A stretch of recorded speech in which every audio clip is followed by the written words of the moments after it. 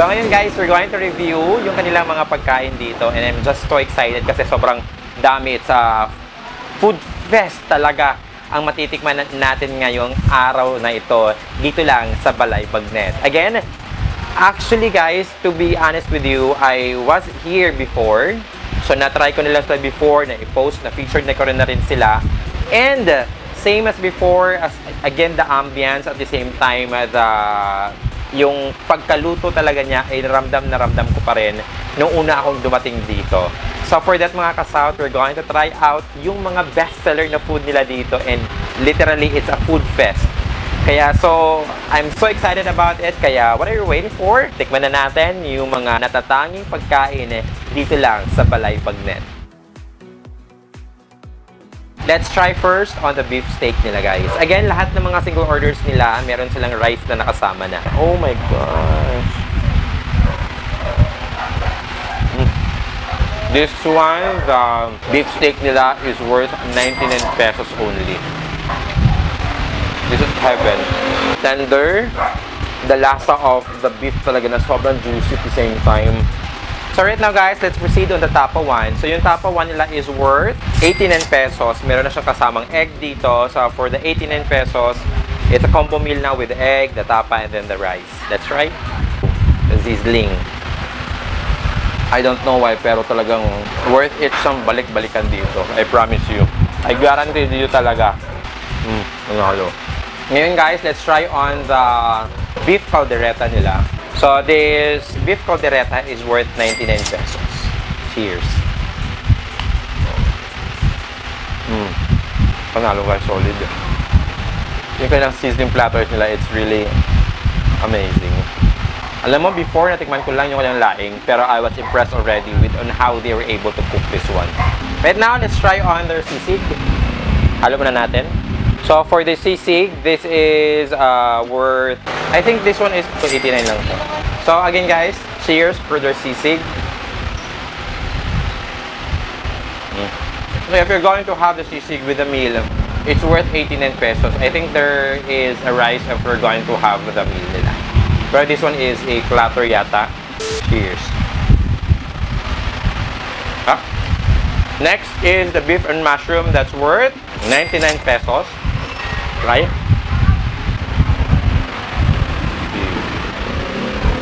Mm. Ang sarap niya. May twist siyang matamis na creamy.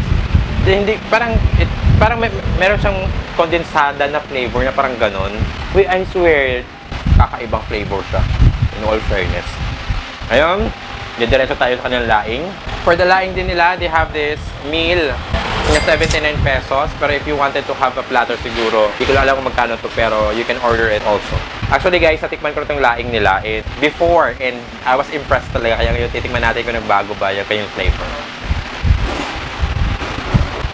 In fairness talaga, sarap talaga.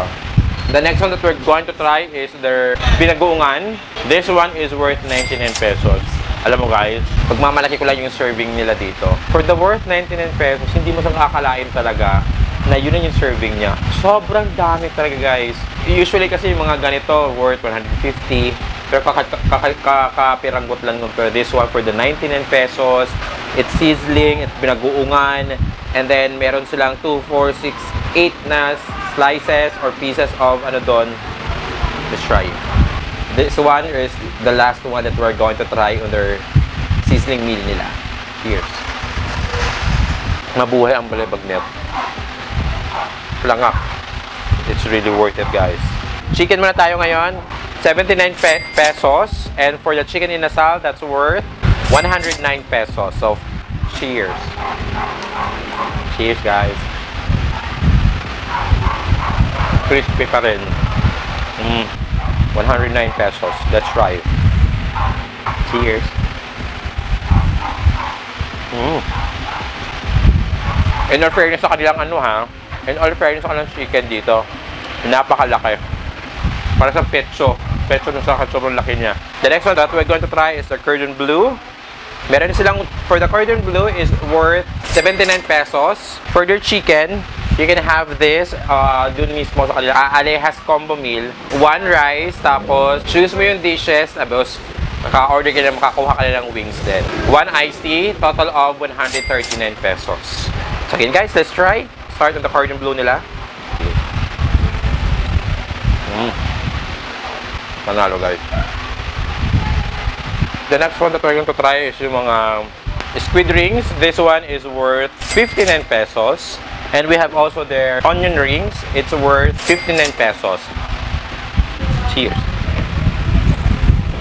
Okay. I like their sausawan ha. Pasabog talaga siya kasi sobrang dami niya na onion rings at the same time on the squid rings nila. Na dito tayo pag-usapan natin kung sausawan. The sausawan is tamang-tama. Tamang-tama lang yung anghang, tamang-tama lang yung asim. As in, nakakawala siya ng umay in all fairness talaga. Kaya swak na swak talaga siya, panalong panalo talaga siya. Now, let's proceed on the sinigang na bagnet. This is worth is a, an a la carte order. Siguro bigger to, mga good for 2 to 5 persons actually. Pero uh, if you're going to order it through the meal nila, that's worth 99 pesos. The sinigang at the same time on the karing bagnet nila. So let's try it. And the fairness, hindi siya ganoon ka kakilig kung maasim ba, kung ganoon siya kaasim. Actually, hindi siya kakaiba kasi we cook naman the pork into sinigang pero kakaiba siya because of the bagnet. Nilunod doon sa sinigang which is crispy pa rin talaga yung kanyang bagnet nila. It's really interested din kasi talagang yung bagnet nila dito kahit nakinginin na siya ng ilang minutes, still, the crispiness talaga ay hindi nawawala.